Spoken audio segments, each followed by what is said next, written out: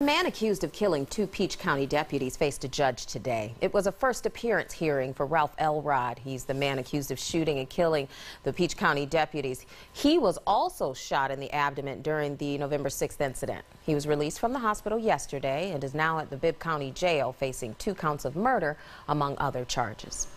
Deputy Daryl Smallwood and Sergeant Patrick Sondron were responding to a fight between neighbors near Hardison Road. That's when that shooting happened. No word on how long Elrod would be at the Bibb County LEC.